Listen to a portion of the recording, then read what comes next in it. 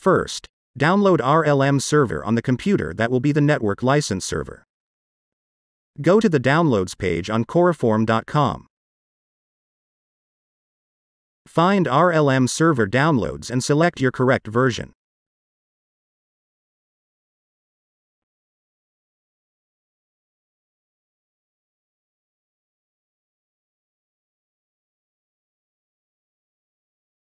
Complete the setup process.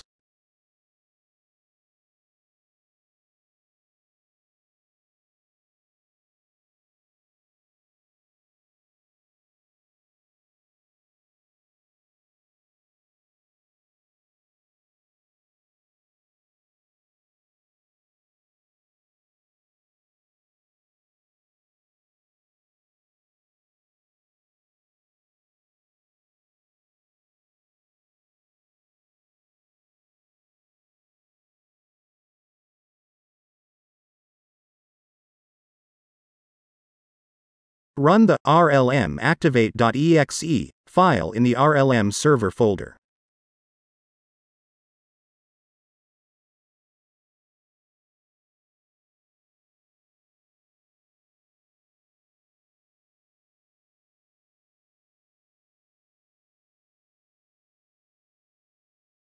Now you'll need to log in to coreform.com by going to My Account.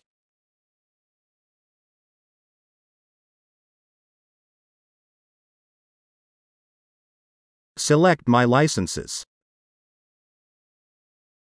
Choose your correct license.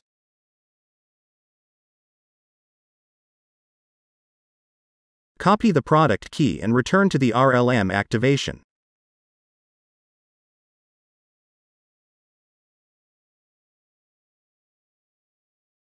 Paste the product key and click Activate. If successful, it should say Activation Successful. Click Close.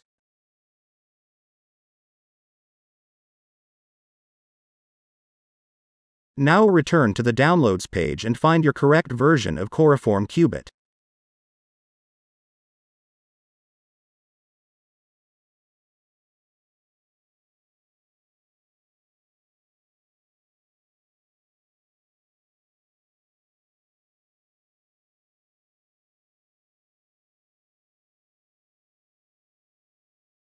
Once downloaded, complete the setup process.